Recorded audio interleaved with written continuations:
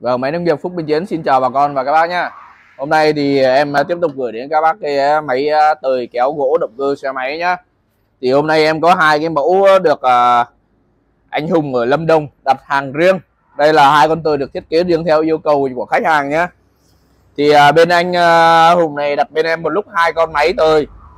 Một bên là sử dụng tời quay tay, một bên là sử dụng tời động cơ kết hợp quay tay và đây là hai mẫu tơi khác nhau nên em uh, đi chi tiết cho bác xem ờ, uh, tơi nhá. Đầu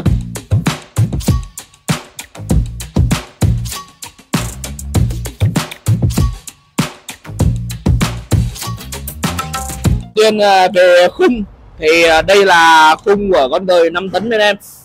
À, khung này được sử dụng 3 cầu 1 2 3 à, hệ thống là hai bánh đăng. Đây là bánh đăng gạt để bên gạt gạt các bác nhé. Và hai xích hai pin. đấy, đây là khung đời to. Rất là khỏe nhá.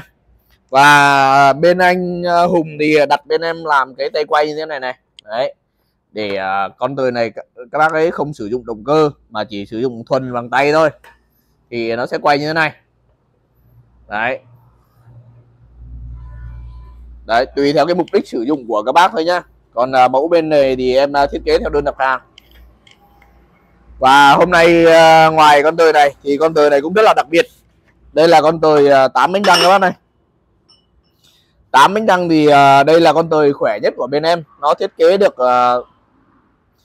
4 cầu và 8 bánh răng 1 2 3 4 4 cầu 8 bánh răng bên này là hai bánh răng có bánh răng gạt nhá. Đây, mẫu đây là bánh răng gạt này. Đó. Ở đây là hai bánh răng quấn cáp này, bốn bánh răng quấn cáp này, và hai bánh răng bên này nữa thì uh, con tời này vẫn được uh, thiết kế phanh và ngắt đầy đủ hệ thống khung tời cũng thiết kế như uh, tất cả các mẫu phổ thông thôi. Tuy nhiên thì uh, hôm nay có một cái đặc điểm là uh, con tời này anh uh, đặt bên em là vừa sử dụng động cơ được nhưng mà nếu mà cái lúc mà cần thiết các bác có thể lắp cái tay quay này vào và trục ở đây. À, ví dụ như em làm tay quay này thì con tời này các bác ấy đã uh, dự trù là sẽ đặt trên cao một chút. Khi mà chúng ta bỏ cái tay quay này vào chúng ta sẽ quay được nhá. Và cái uh, g tay quay chỉ cần uh, các bác chỉ cần uh, bỏ cái tay quay này vào g này là được. Còn hiện tại thì uh, con tơi này hơi thấp nhá. Em uh, chưa có đút vào trực tiếp được. Thì uh, đây là một cái uh, cái đặc điểm là về con tơi 8 tấn mà bác Hùng đã đặt hàng riêng bên em để thiết kế cái tay quay. Đấy em giới thiệu đến các bác thì bên này ta quay trực tiếp này. Bên này là quay quay ở trục phanh này. Đó. Thì uh, cấu tạo hai con tời này để phục vụ uh, phục vụ công việc uh, đặc thù công việc riêng thôi nhá. Đặc thù công việc riêng cá nhân của bên uh, anh Hùng.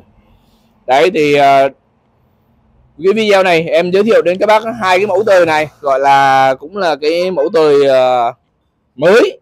Bên em uh, lần đầu tiên uh, sản xuất ra cái mẫu tời này để phục vụ cái nhu cầu uh, riêng biệt cho bà con và các bác khi mà sử dụng tời kéo các uh, vật nặng hay là sử dụng trong công việc. Đấy thì cái này sẽ hỗ trợ cho các bác trong công việc rất là nhiều để tời kéo bằng động cơ xe máy linh động dễ sử dụng uh, tiết kiệm nhân công và chi phí. Đấy để để nhận uh, tư vấn một con tời phù hợp với công việc của mình các bác có thể liên hệ trực tiếp qua bên em máy nông nghiệp Phúc Minh Tiến, địa chỉ là cầu Bùng, Nhấn Kỷ, Diễn Châu, Nghệ An. Số điện thoại là 0988 182 789 Còn các bác có thể truy cập website www.phúc minh tiến.com các bác nhé. Vâng em xin cảm ơn các bác.